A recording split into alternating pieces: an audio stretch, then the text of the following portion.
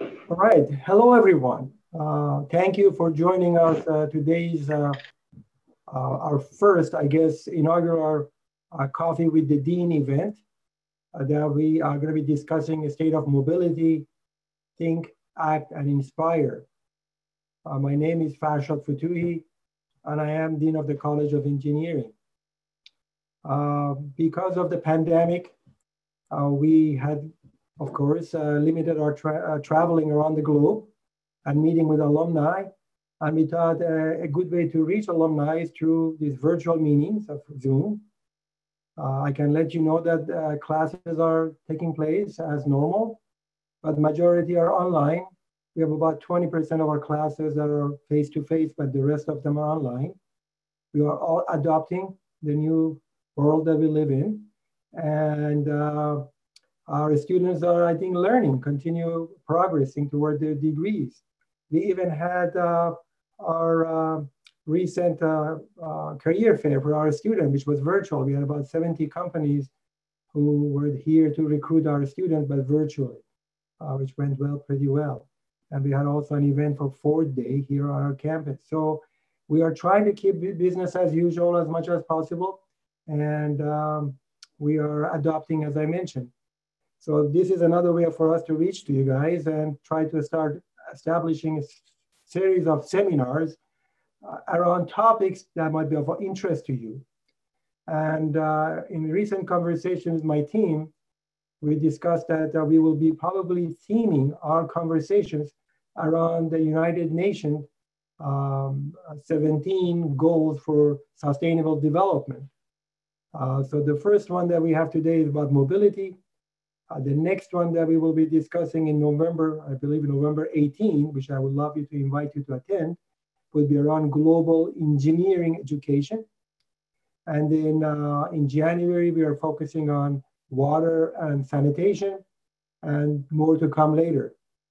And in each one of these one, we will invite some of our colleagues from the College of Engineering to join us, as well as invite others around the campus to join us and discuss some of the work that they are doing around um, some of the topics that we will select and talk about. And if you have any ideas about what topics you would like to hear from us to discuss, please share it with us and we will make sure to accommodate those as we go forward. So mobility is the first area that we discuss, talk about, talk about today, uh, because again, it's a topic, a uh, timely topic. It is uh, taking over our lives. Everything is these days are smart, uh, from a smartphone to a smart refrigerator to a smart microwave and a smart car and a smart city. And uh, mobility plays a big role around these uh, smart enterprises. And uh, with that, at Wayne State, we, uh, over the past several years, we have started recruiting faculty who are doing research around mobility, not in one specific discipline, but uh, in various uh, disciplines across the college. These are faculty in Department of Computer Science, Electrical and Computer Engineering, Mechanical Engineering, Industrial Engineering, and uh, Computer Science. And we will continue recruiting more and more faculty in those areas. Next slide, please. Somehow, Stephanie, sorry, I'm not seeing my, the slides being moved forward. Um, I'm going to do it my own here right now. So we have started uh, uh, a mobility initiative uh, in our college, and we expanded across the campus because we believe mobility is not only an engineering discipline, it is impacting uh, many, many areas. And since Wayne State is a comprehensive university, we have uh, talked to our colleagues in business, law, medicine, liberal arts and sciences, pharmacy, and so on, to hear their work around mobility. So on April 15, we had a meetings of minds that uh, we did again virtual event like similar to this one, invited our faculty across the campus to come and share their thoughts about mobility. And uh, we broke it down into four areas, education, transportation, health, and technology. And we have we had about 60 plus faculty from across the campus who participated in that uh, event. We recorded all that information. It's available at mobility.wayne.edu. I encourage you to visit that site and um, learn more about what other colleagues are doing beside engineering faculty. And also, just last week, we launched a competition uh, for the entire campus called Mobility for All competition, which is uh, in four phases.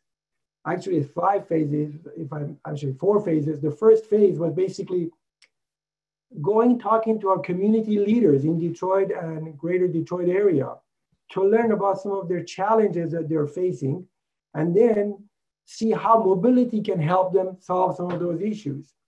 So we gathered somewhere about over 30 uh, ideas that came across the uh, Detroit community and uh, beyond. And we broke it down in certain areas.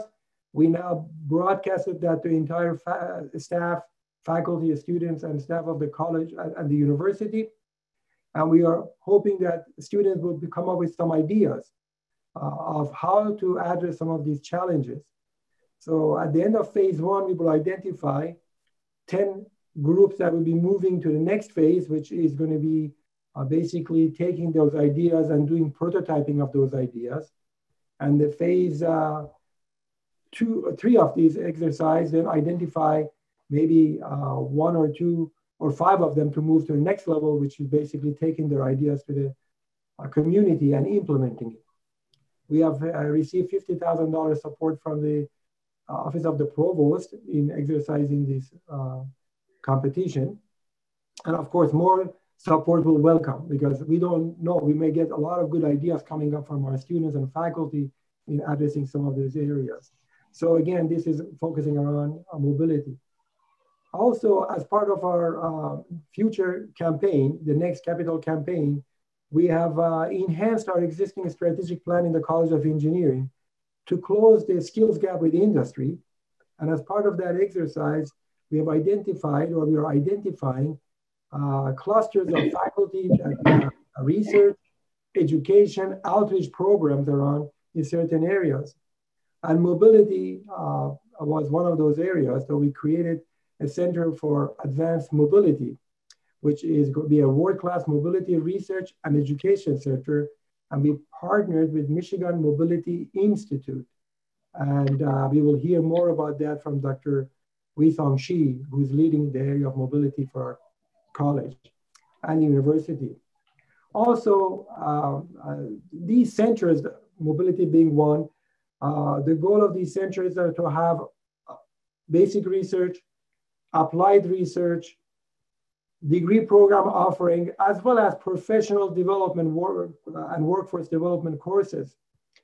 So uh, recently we partnered with a company called Amesite, which is an AI-based uh, uh, virtual uh, uh, classroom environment based in Ann Arbor in offering courses around mobility and advanced technology.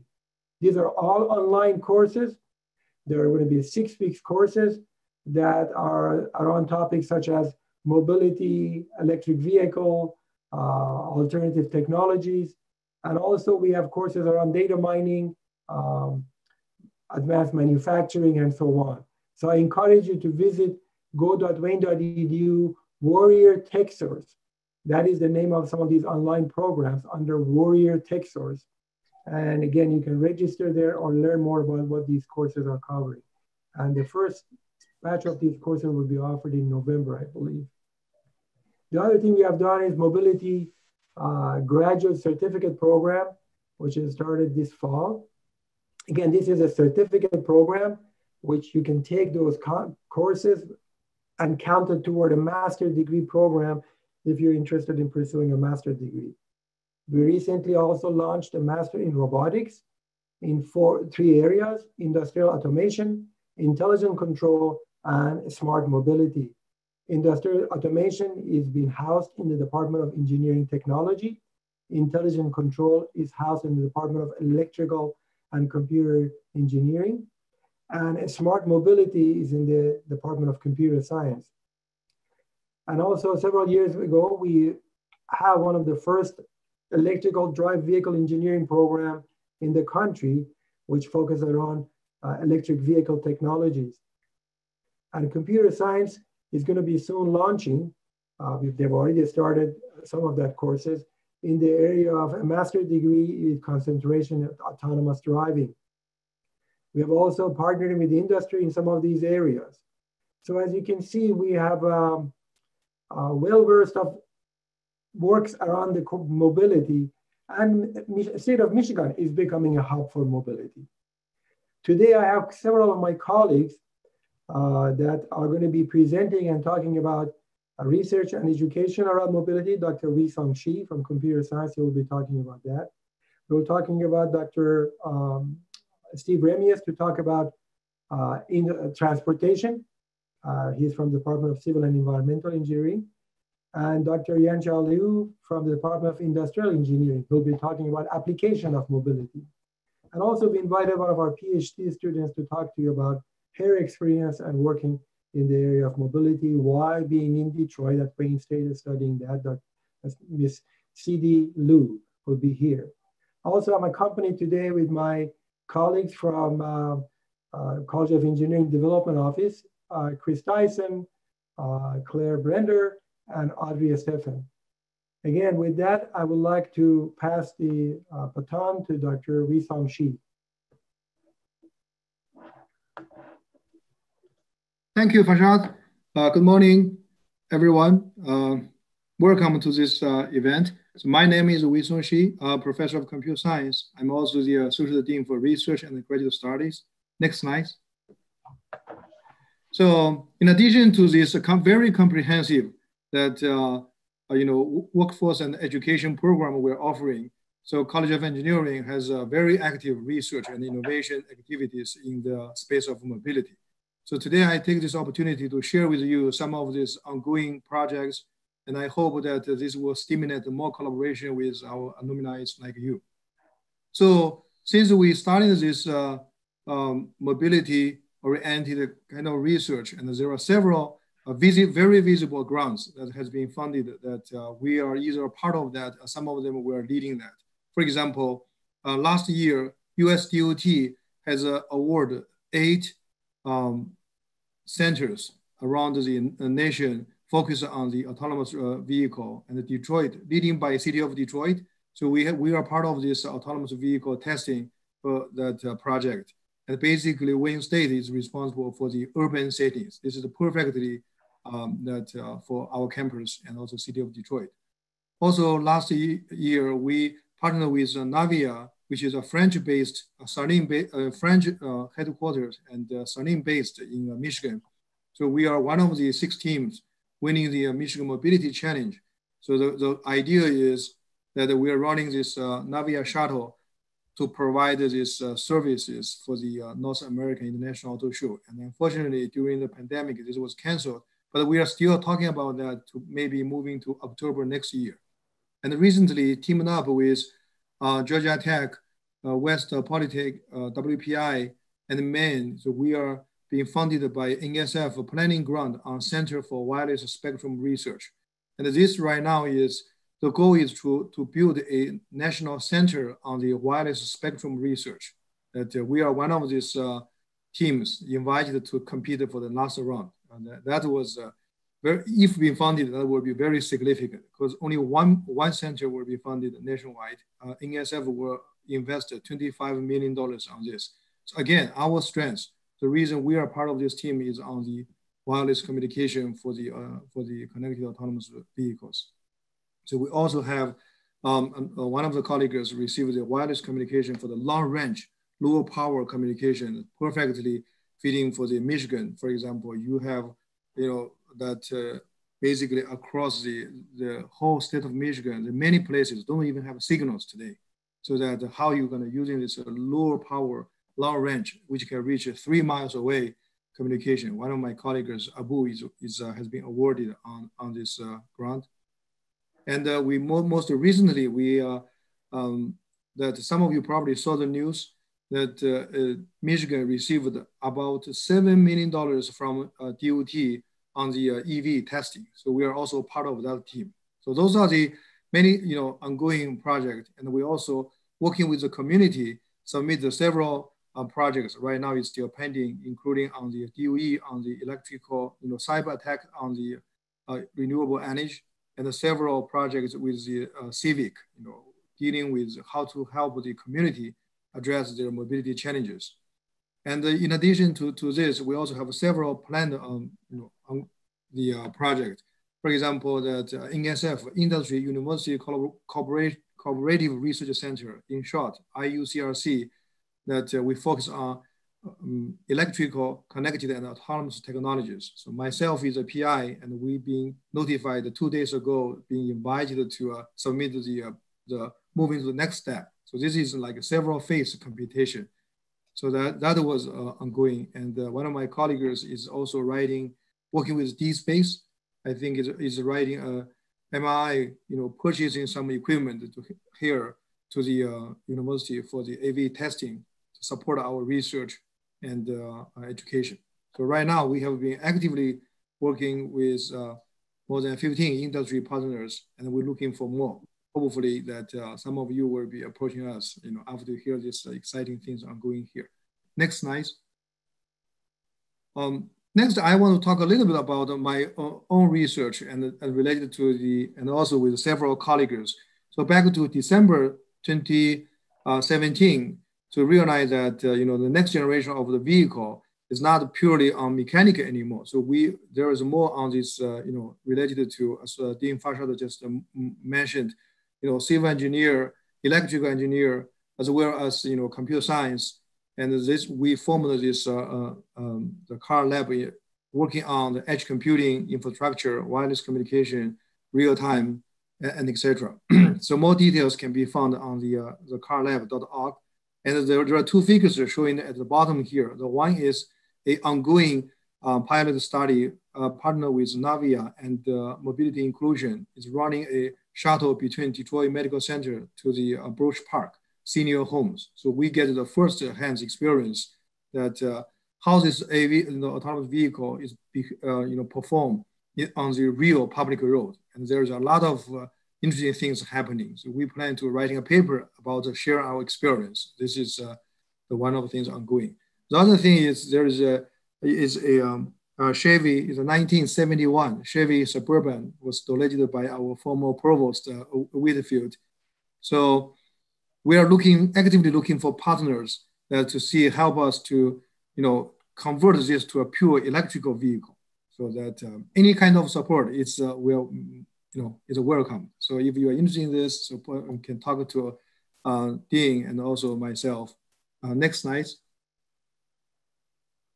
so within the last couple of years uh, in order to support the research and education so my lab we have developed and already open sourced a uh, what we call the Hydra One is is an experimental research and education platform.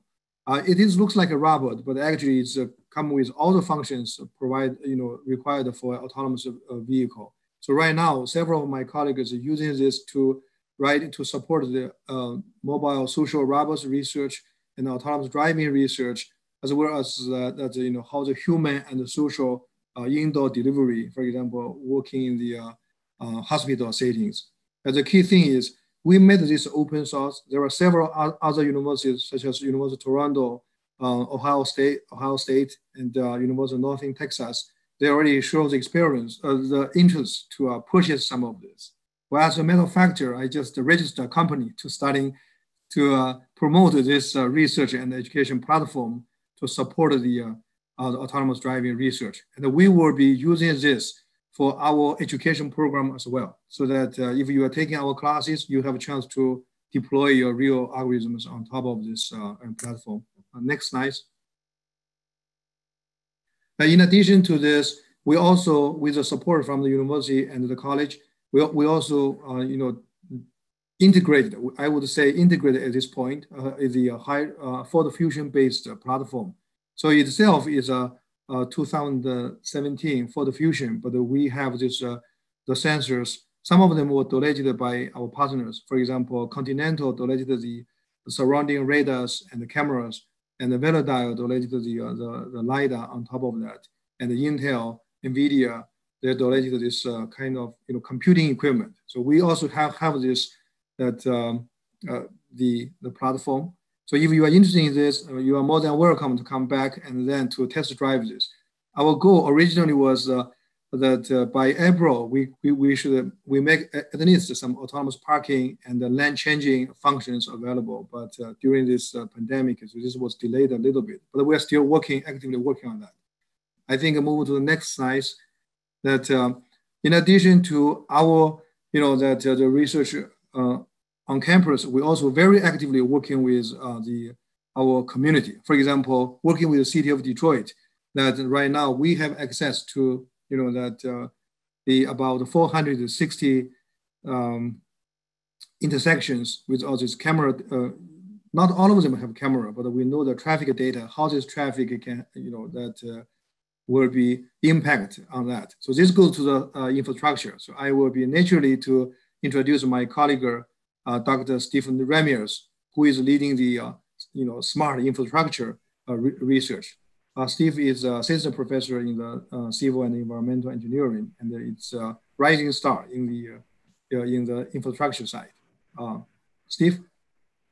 Awesome. Thanks, Wei Sung. I really appreciate it. Um, thanks, Farshad, for, for hosting us today. And, and thanks, Wayne State, friends, family, alumni, and students, and faculty for, uh, for, for taking time out of your morning to, uh, to join us today. Um, my name is Steve Remias. I'm an assistant faculty, assistant professor of civil and environmental engineering. Um, next slide, please. Um, so a little bit of introduction about myself and my research group. Um, we're a, a, research group called the, the Transportation Research Group. Uh, we, uh, we operate out of, uh, out of Wayne State University's engineering building, um, and we're focused on all aspects of, of transportation engineering. Um, we're, we're very aware that uh, the, the transportation engineering field is, is changing rapidly, and we're trying to develop uh, solutions that assist um, you know, the, cities, uh, residents of the city of Detroit, um, drivers, uh, agencies, um, and, and anyone who deals with transportation engineering. Um, my research goal um, is to leverage modern data sets to solve transportation agency problems. As we, we develop um, connected and autonomous vehicles and uh, uh, larger technologies for uh, intersections and, and infrastructure, um, what's really happening is we're getting kind of inundated with with data. And and what we're trying to do is is take the, these large amounts of data um, really we're, we're, data rich and information poor. We're trying to take these large amounts of data and turn it into information um, that agencies and, and folks can use to, to, to have actionable items so I'm excited to share a few of my uh, research projects with you today um, one on smart infrastructure, and then a few other on scalable data solutions. Next slide.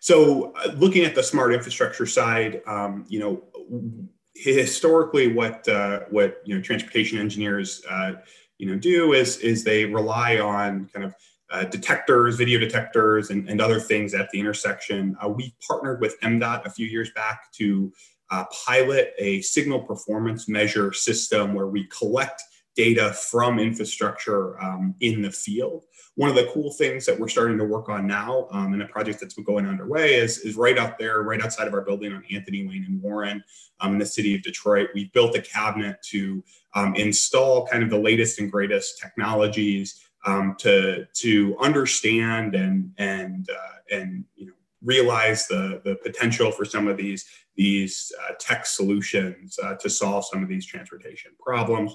Um, like I mentioned, you know this this signal uh, automated signal performance measures uh, system. What they do is they collect um, any type of, of data that's coming from the intersection, whether it's detectors or when the signal changes, um, and it's taking and logging all of that information, and we're using that to uh, drive and, and optimize the intersection. Uh, next slide. Another thing that we're really interested in is, is scalable data sources. So we understand agencies are limited by uh, budget and resources, and, and as much as some of this technology is, is rapidly developing, um, if you think about the scale of the Michigan Department of Transportation, they have uh, 3,200 intersections or 3,200 signalized intersections. And, and if, if you were to develop a technology and wanted to install it tomorrow at all of these intersections, it would be really cost prohibitive um, to, to, to do that, you know, between labor, maintenance, et cetera. Um, so another thing we're looking at is kind of these scalable data sources. So everyone has their cell phones uh, and and where they're you know getting these, these GPS maps, whether it's Google or Waze um, or Apple Maps, where, where you're getting these these um, uh, directions and current traffic, real time traffic conditions. Um, one of the things that we're able to do is work with third party vendors uh, to collect this data um, where we're not getting 100% penetration of, of uh, vehicles, but we're able to get a, a, good sample. So you can see on that picture on the left, um, you can characterize traffic conditions with just a few uh, vehicles on the road network. And what we can do then is use this data or these data um, for, for performance measure reporting um, and, and really planning operations and, and kind of uh, strategizing, you know, where capital projects need to take place um, at the agency level. Um, next slide, please. So really, uh, you know, this these these archived data, this archived data. So as opposed to looking at this data in real time, um, you know, the archived data really provides these game-changing opportunities for agencies. Next slide. So what are we doing with it? Well, over the last three years, uh, we've created uh, the Freeway Congestion and Reliability Report, where we take this information and create a planning document such that MDOT, when they have their, their planning meetings and they're looking at the next five to 10 years of, of construction projects, they can, they can understand uh, where congestion is occurring, um, and they can also use this to understand, you know, if we built a, a, a project or an infrastructure uh, project, you know, whether we added a lane um, or, or put some type of intelligent transportation system out there, what the impact of that, of that, uh, that installation was. Next slide, please. So here's an example um, for those of you in the Ann Arbor area, uh, the flex route on, on US 23. Um, we were able to use this, this data, uh, the, the, data from uh, this, this crowdsourced probe vehicle data uh, to, to understand the performance. And if you look at the, you know, the, the big uh, upper left there, you see that big spike of, of pick your number, somewhere between 20 and 25 minutes of, of delay uh, pre-construction on, on US 23. Um, and after they built the flex route, which was a, a, a external uh, shoulder, hard paved shoulder where uh, vehicles could drive on during peak hours, that that congestion went away. Um, using some of this information, the, the DOT is now um, expanding the the kind of the the scope of this project in, in terms of flex routes and they're, they're, they have the flex route tool in their toolbox and they're starting to look for other places that could, they can implement uh, and, and, and use these, these flex routes. Um, next slide, please. Another cool thing that we did uh, as part of a Federal Highway Administration project, we um, we worked with uh, work zone uh, work zone folks, so agent, uh, agencies who who have work zones on interstates, which is every agency, um, and we developed an open source tool um, that summarizes the performance of work zones um, in terms of mobility. So uh, really, a lot of questions stem from when can workers be out in the field. Um, and you know, if, if we do, you know, X, whether it's close a lane or close two lanes, or or you know, put out signage, um, what's the impact on traffic? So we created a tool um, for agencies nationwide to use that will uh, that will leverage this probe data um, to, uh, to to you know provide information for these decision makers. Um, next slide. So the next cool stuff that we're working on is is looking at um, vehicle trajectory data and or this is the data that you would imagine comes from uh, connected vehicles um, gps waypoints from individual vehicles. And our main theme our main question was can we identify poor performing intersections um, without any infrastructure? And and you can see here uh, this is actually a, a, a, vehicle that was driven through detroit. Um, those red lines across the graph there are uh, intersections. And you can see, looking at this, the, the vehicle, this one individual vehicle stopped at every intersection um, on that corridor. Obviously, that creates some unhappy drivers, um, you know, from emissions and noise and, and other things, uh, delay. Um, there's, there's a lot of problems with that. Next slide, please. So what we're doing here, um, uh, so what we're doing here is we're taking this information that we have, this, this waypoint information from these connected vehicles, and we're actually looking Um, and, and this is an example in, in Holland, Michigan, where we where we had some data and we let all of these connected vehicles, every trace that we had of, an, of a corridor go at once. And so you can see the southbound moving traffic on the left, the northbound moving traffic on the right. Um, and we're able to kind of understand where vehicles are stopping on this corridor. Um, and that gives us the insights to uh, kind of target uh, signal retiming projects or infrastructure projects such that um, we can improve some of these, uh, some of these signal timings. Um, next slide.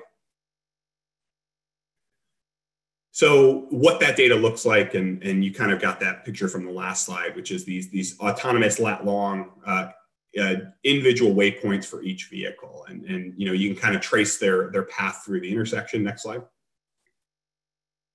And as part of a DOE project, what we were able to do is, is look at the, the city of Columbus and actually characterize 10 corridors um, using this information and find the hot spots that they need to focus on to, to retime their signals, um, which is exciting because it, it was zero infrastructure costs um, and, and um, can really scale uh, not only uh, citywide, statewide, but it can also scale nationwide. Next slide. And just to wrap up here, so we know transportation engineering is uh, is changing, um, and so we have a, a, really awesome civil engineering transportation staff that that looks at transportation equity, um, transportation safety. Um, I work at work work with transportation um, operations. Um, we know that transportation engineering is changing both technology modes, population, environment, economy, um, and we're trying to look for uh, problems that we can use these new technologies and new data sets to, uh, to solve. Um, so the, the goal of transportation engineering is really remain the same, you know, safely, efficiently move people and goods, but Wayne State wants to be the, the forefront of, of finding these new solutions that agencies and operators can use um, to improve their transportation. Um, next slide. I think I just have some sources and I'll pass it back to Weisong uh, for, uh, for the introduction to the next speaker. All right. Thank you, Steve. And uh, you just hear that uh, Wayne State is at the forefront of the on the ground, you know, transportation. And in addition to that, you know, mobility is not limited just on the ground. So actually, we also actively looking for that the way how you're gonna using, you know, the space, you know, the drones and etc. for the food delivery. Those will be the next big thing. As you see many news about Amazon, uh, Walmart, they are talking about you know how to change this uh, the future, the delivery of, of the food, maybe as well as the transportation. So I'm very glad to introduce one of my colleagues at uh, Industrial and System Engineering, Dr. Yanchao Liu, who is uh, um, also a star in this space. So let's uh, welcome uh, Yan Chao. Uh, thanks, Weisong. Good morning, everyone. Uh, when we imagine mobility solutions for the future, the largely unexploited airspace and rooftop space shouldn't be overlooked. Uh, advanced air mobility, or AAM, aims to improve people's daily lives by significantly reducing the time and cost of moving people and goods in and around cities. Uh, the vehicles are electric, lightweight, and capable of vertical takeoff and landing, or VTOL. Uh, the city infrastructure will be upgraded with bold designs. Uh, for instance, building rooftops would be converted to uh, accommodate air taxis and uh, maybe small uh, vertical takeoff and landing airports would be built in future smart mo mobilities, as you see in the picture. Uh, designing and implementing the new infrastructure involves many technical and policy decisions. Supporting these activities requires uh, joint efforts from academia, industry, and governments. Uh, in, addition to the ground infrastructure, AAM uh, also calls for a new generation of air traffic control capabilities to handle the unprecedented density and complexity of unmanned air traffic. Uh, developing such capabilities requires interdisciplinary research, uh, invention of new modeling tools, and new solution methods. Uh, next slide, please. Uh, so the idea of human carrying drones such as air shuttles and air taxis may still sound too remote to you. Uh, in contrast, goods delivery using drones may be a more attainable first step toward AAM. Research shows that 38% of all personal trips, that is 80 billion trips per year in the US, fall in the category of shopping and errands. In other words, the sole purpose of such trips is for fetching something lightweight from a short distance away. If we can deliver the needed stuff to people quickly and on demand, then many costly, time-wasting, polluting, and in some cases dangerous personal trips can be eliminated uh, compared to conventional methods for last mile delivery, such as using trucks, cars, and electric mopeds. Drone delivery is much more efficient in many aspects. Uh, drone, drone-based delivery is projected to be able to reduce fuel and labor costs by 90%, reduce delivery time by 80%, and enable contactless point-to-point -point delivery with zero CO2 emission. Uh, next slide, please. Because of the limited size and endurance of small drones, the benefit of drone delivery can only be materialized by large-scale deployment. Uh, and this presents a multitude of technology challenges. My research aims to address these challenges using operations research, mathematical optimization, and machine learning.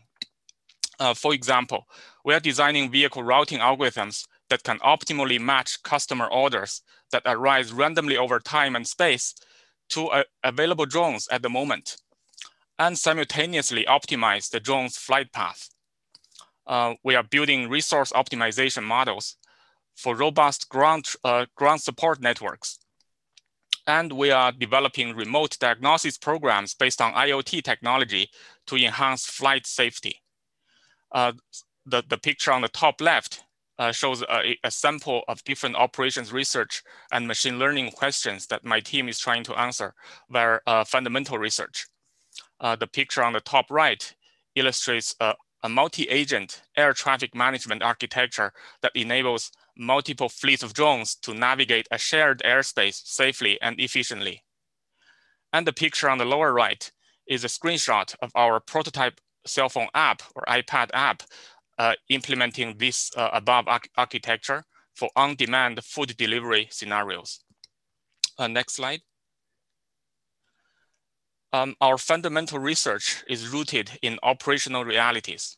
In our lab, we have built a small fleet of drones from the ground up to understand how drones work and to get a hold of the real challenges in drone-based delivery operations. Uh, these physical platforms help us ensure that our mathematical models and algorithms work well, not only in simulated environments, but also on real UAV fleets. Uh, along the way, we have also developed uh, novel hardware modules. For example, uh, the, the black box in the lower right picture uh, is a lightweight onboard computer uh, with 4G LTE connectivity, which can simultaneously talk to the onboard autopilot and the cloud the cloud-based fleet controller. So this device can be uh, installed on both UAVs and ground vehicles in a plug and play fashion. Next slide. Uh, along with other team members in the uh, NSF-funded I-Corps program, uh, I'm in the process of translating the technology innovation into commercial values. Uh, we have started a company called Prompt, aiming to provide end-to-end meal delivery solutions. We have developed prototype systems as shown in these pictures, and we have been uh, conducting virtual and physical trials. Uh, I would welcome your inquiries about uh, collaborative research, partnerships, and other opportunities with us. Next slide. Uh, okay, thank you for your attention. Uh, feel free to scan the QR code to connect with me on LinkedIn. Thank you. Thank you. Oh, thank you, Yanchao. And um, our next is, as many of you know that you know Michigan is in the uh, in the transition from the traditional auto industry to the mobility. So as evidenced by the, in the last July, Governor Whitmer just uh, uh, created a new office on the mobility and the electrification and appointed Trevor Powell as the first chief, you know, uh, chief mobility officer at the state level in the nation. You know, uh, actually, last Friday, we are very happy to have um, Trevor to give us the talk at the Women Mobility Distinguished uh, Series. And there are many students, and then even our, you know, um, people is looking for if they're looking for mobility, they're actually looking for to come to us. You know, um, Wayne State is in the heart of Detroit. I'm here to study.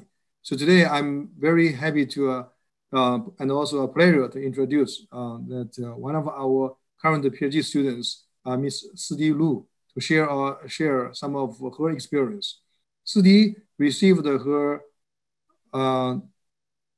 bachelor degree from Xidian University, which is a partner university with Wayne State.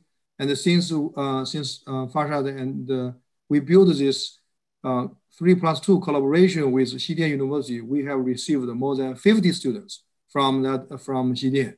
And Sidi was uh, one, uh, one of them. And she completed her master's degree last year and now is doing PhD and working with uh, GM and as an internship right as of now. So Sidi, go ahead. Yes, thank you, Professor Shi. Uh, good morning, everyone. Uh, I'm Sidi Lu, and currently I'm a fifth year PhD student at Wayne State University under the guidance of Professor Weisong Shi. And in 2015, I was a visiting student at UCR and received offers from the UCR and the USC, but I decided to work with uh, Professor Shi and join the car lab at Wayne State University, which is located in the Motor City, uh, Detroit. And because of the location advantages and the close cooperation with the mobility industry cooperators and the National Research Lab, uh, Wayne State University provides many project-based uh, training using the mobility principles and technologies to solve the real-world challenges. So which is very helpful for students to find an uh, ideal and competitive job or intern opportunity in the mobility era. And in the partnership with the industry collaborators, so OurLab aims to design and implement uh, enabling technologies such as uh, uh, edge computing, communication systems, and to realize the vision of the uh, connected and autonomous uh, driving. And take me as an example. So I have the opportunity to work with the Nokia Bell Lab and the General Motor. And all my research projects are uh, based on the real world data sets, such as the electrical vehicle battery data sets and the autonomous vehicles video data sets. And those real world data sets are the keys to the related uh, research, including the electrical vehicle uh, battery failure prediction, um, collaborative learning on the edges for connected vehicles, and also the visual uh, lane detection prediction under the challenging scenarios. And since the, uh, this summer, I have become a, a, General Motor research and development intern uh, from June 2020 to uh, the end of this year. So I have joined the Vehicle Health Management Group of the Vehicle System Research Lab in GM. And my work is to uh, develop initial work supporting enhanced lane detection prediction under challenging scenarios with the advanced uh, driver assistance systems of the Super Cruise vehicles loss, losses lane detection. So uh, in short, I have uh, learned a lot through studying in Wayne State University, and I believe the Wayne State University will provide us a perfect education platform in terms of the mobility research. Uh, thanks. Uh, so let's uh, pass back to Dr. Shi. Okay, well, thank you, Sidi. Um, I think I will pass, according to the agenda, now is to go back to uh, Dean Fotouhi, right? Oh, wonderful. Thank you. Thank you all uh, for participating uh, and sharing with our alumni, friends, and colleagues uh, about the work that you are doing around mobility. And uh, we have till 11 o'clock. So we have about 12 more minutes left uh, you're more than happy to stay online if need to be, but those of you who want to take off, I can tell you that we are recording this session so we can make it available to you to uh, review it and uh, PowerPoint as well. And there's a lot of links to some of the research that my colleagues are doing. But let me, um, since we have time, I just wanted to ask one quick question and then open it up to the attendees to see if they have any question for us uh, with the remaining time left. I know that I mentioned earlier in my uh, presentation uh, that we have a competition that we launched uh, last week, Mobility for All. And one area of that mobility, we received a lot of information from uh, Detroit community and greater Detroit area. And transportation was one of their major focus. A lot of uh, needs for transportation, uh, public transit, bicycle infrastructure, walkability, and, and technology such as connected autonomous vehicle. What was the other major focus of this conversation among uh, the Detroit uh, community? Uh, again, focusing around social justice.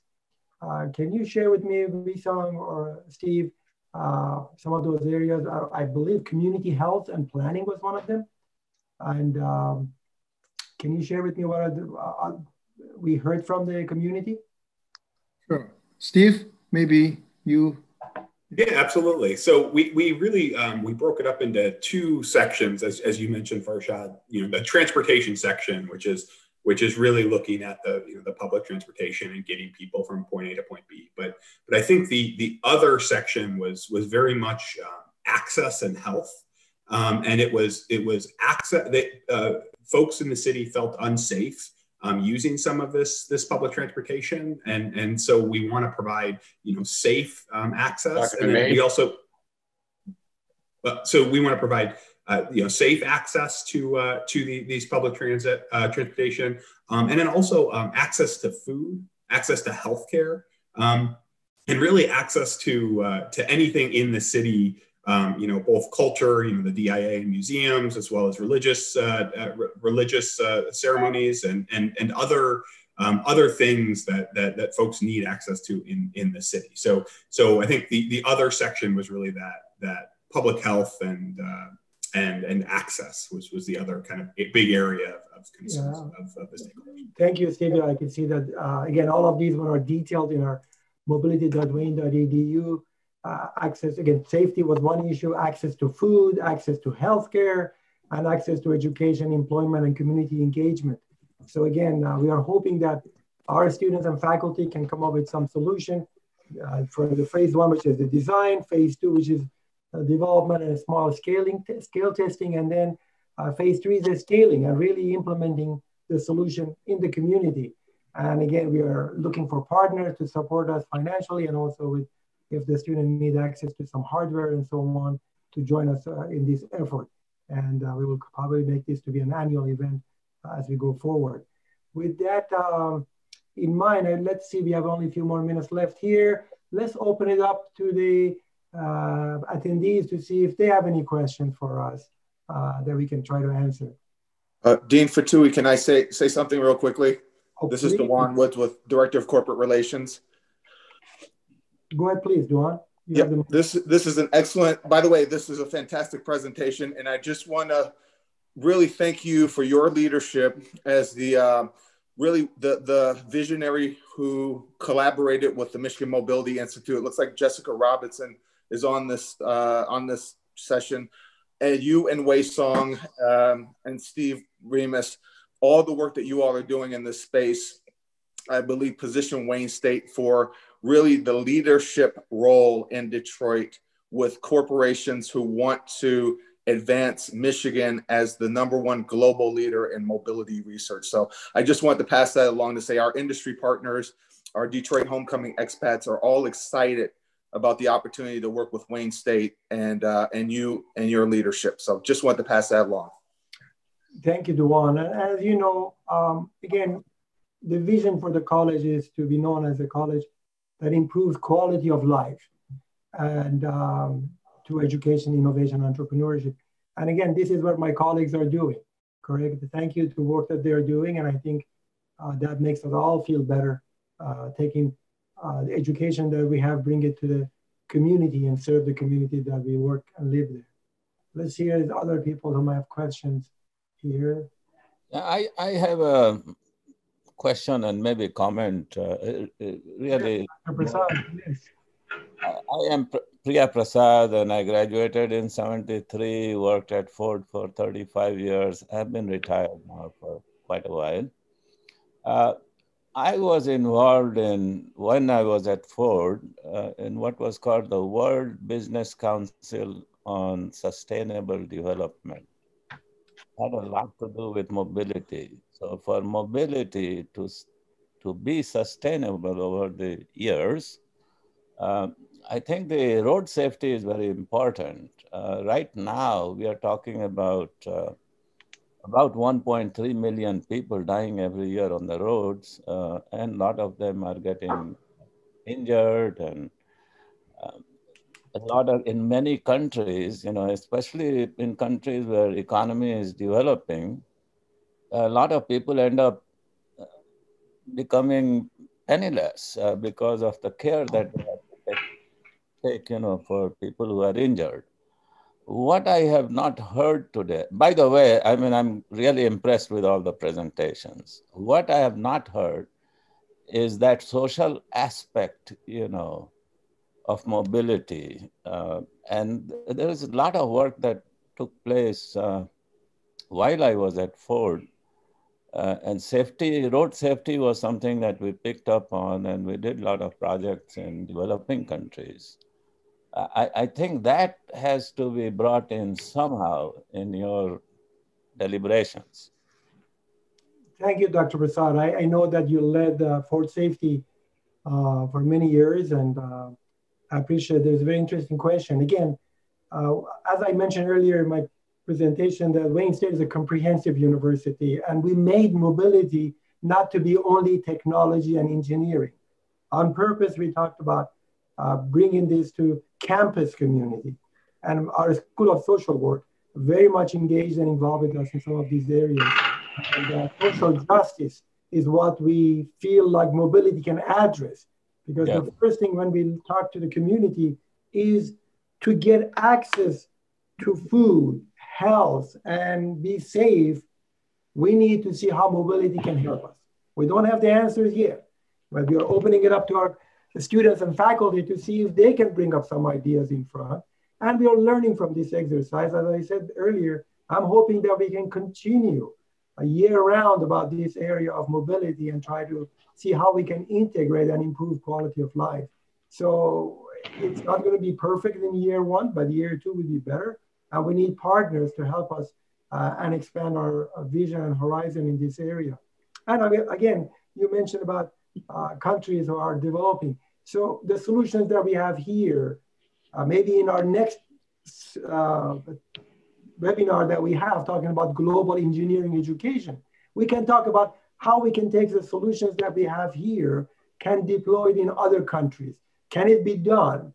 Is it adaptable? The traffic signal that Dr. Remias has talked about, is that going to be okay in India or in China or other places like that, uh, or in Nigeria? So we need to uh, really expand our horizon and see if we can make it happen. Uh, but again, thank, thank you for your excellent question. Uh, sure, thank you very much. Thank you. Uh, I have, I believe, uh, Joseph Peter, you have a question? Yeah, I do, Dr. Fotouhi. Thank you. Um, thank you. The, uh, my questions are around the adoption. Um, I assume it's not going to be a big bang. It's going to be sort of incremental. And if it is going to be an incremental adoption, I, I just like uh, maybe it gives us some hints of what the first um, initiatives might be. Thank you. Okay, maybe I should ask my colleagues, um, Song, Steve, Yanchao, anyone share some lights on that?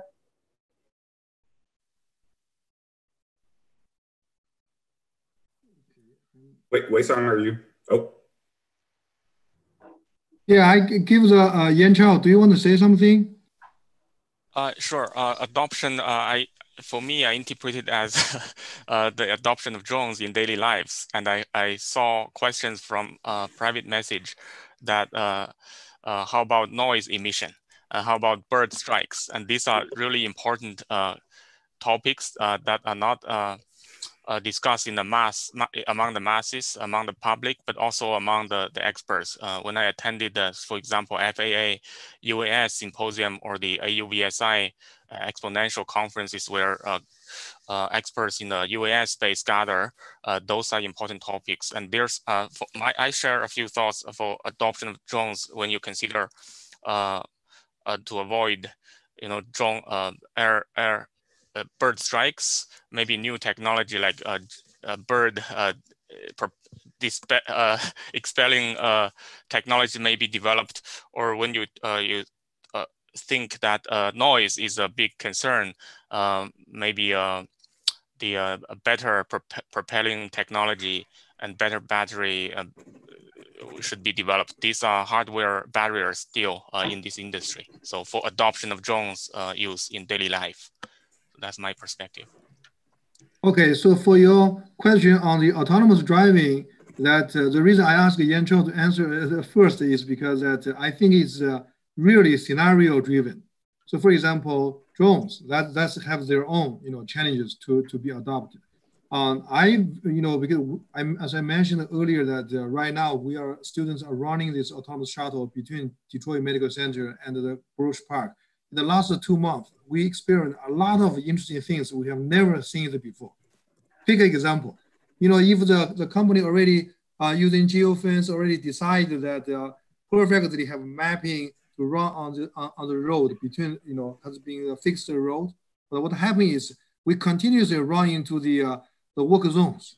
You know, one day if, if the if the workers putting the uh, contract people putting a work zone a cone orange cone in front of that, and then the the autonomous shuttle will be stopped here because they they never see this before.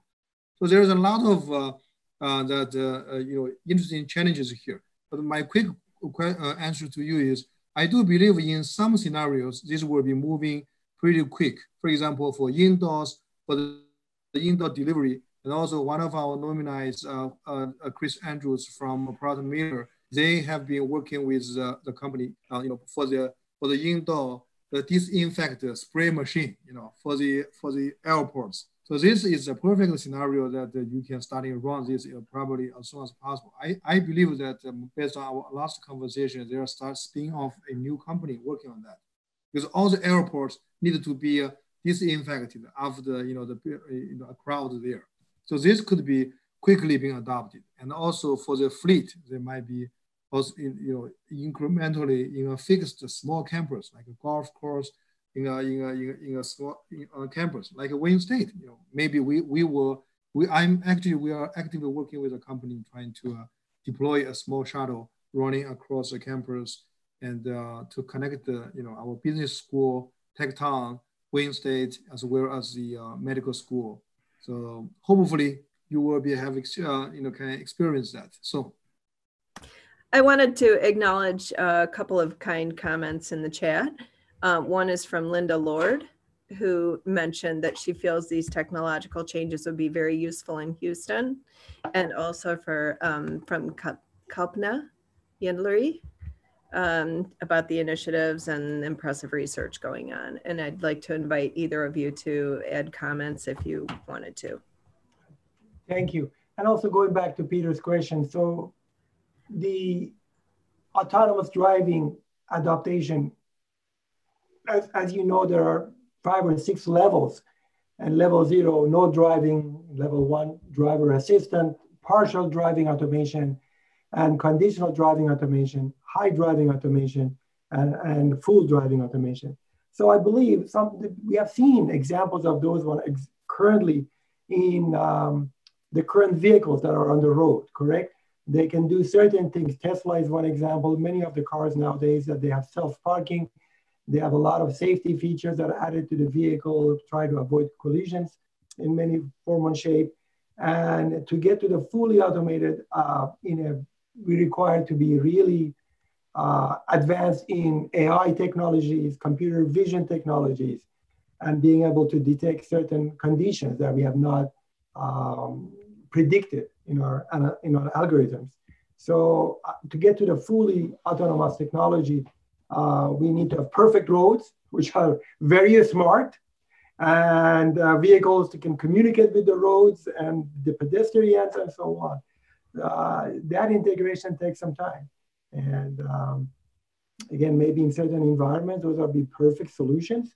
Uh, but I doubt that this is going to be something that could be done uh, in, in, a near term, a fully autonomous vehicles out on the road. So, and we are adopting, uh, by the way, how to use these technologies. And that is another reason I mentioned this is uh, not only about deploying technologies, but how people adopting and how that changed people's life. Those need to be studied too, correct? And that is the reason we are working with our colleagues across the campus to look at some of these issues, correct? Uh, we have colleagues from history, anthropology, uh, social works, and so on, working with us in addressing these ones. And as Dr. Uh, Prasad mentioned, road safety is uh, most important. And uh, putting a vehicle on the road, we need to make sure that uh, we go from point A to B safely. And that's what autonomous technology is going to promise us that it's going to happen. All right. Uh, I think we're past our time by five minutes. Um, do you still have more question coming? I wanted to acknowledge that um, we have Vivek Jayakamal on the call with us today, who is with AVL Testing Systems, and they are doing some impressive work with um, mobility. And again, we certainly would love to partner with them as part of a center, uh, Advanced Center for Mobility. We need partners. As a matter of fact, Wayne State, um, uh, maybe I've mentioned that in my past presentations, purchased a building a few years ago which focuses on the building was built for purpose of doing alternative energy. And we are working on energy and mobility in that space. And we are inviting industry partners to join us in that space to do collaborative research. And I think centers of uh, uh, mobility will allow us to do that and that we learn from each other. And our students also learn to better prepare for jobs of the future, engineers of the future. Okay, thank you. And I see that uh, Peter is um, thanking us for uh, good, good, glad to hear it from you, Peter. And again, uh, I think at this time I would like to invite you again to our November 18 uh, uh, Coffee with the Deans event, which is, uh, is focuses around global engineering education. And I invite you to share your comments and feedbacks with our team. And if you have any topics or ideas that you would like us to share, we are more than happy to do so and come back and, and have events like this for you. And uh, again, with that in mind, I wish all of you a safe and healthy uh, day ahead. And thanks again. Take care, everyone.